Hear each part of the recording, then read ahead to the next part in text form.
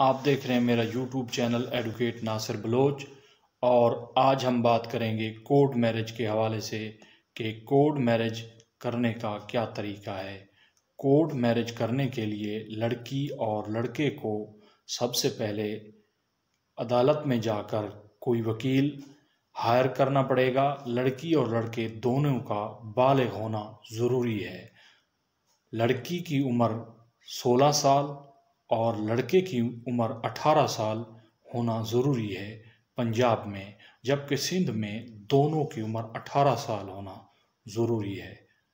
तो court marriage में वकील निकाह खान को बुलवाकर दोनों का शरी निकाह करवाता है।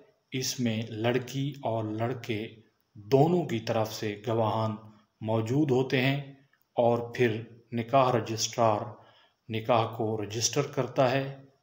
और फिर लड़की को मजिस्ट्रेट के सामने पेश किया जाता है और वहाँ लड़की अंडर सेक्शन 164 सीआरपीसी के तहत मजिस्ट्रेट को बयान देती है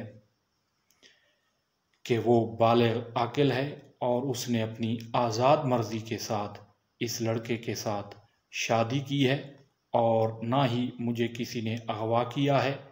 और ना ही कोई ज़ोर ज़बरदस्ती की है, बल्कि मैं अपने घर से अपनी आज़ाद मर्ज़ी के साथ आई हूँ और मैं इस बंदे के साथ रहना चाहती हूँ और इसकी बीवी हूँ। अगर लड़के के ख़िलाफ़ कोई अगवा वगैरह की एफआईआर हो जाए तो सबसे पहले आपने इस लड़के की ज़मानत कबल अज गिरफ़्तारी, परी अरेस्ट बेल करवानी है। फिर आपने क्वेशमेंट ऑफ़ एफआईआर करवा लेनी है। इस तरह एफआईआर ख़त्म हो जाएगी।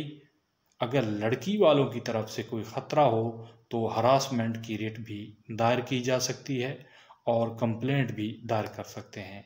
ये थी हमारी आज की वीडियो। उम्मीद करता हूँ आपको पसंद आई होगी। आखिर में मेरे चैनल को ज़रूर लाइक और सब्सक्राइब कर दें। शुक्रिया।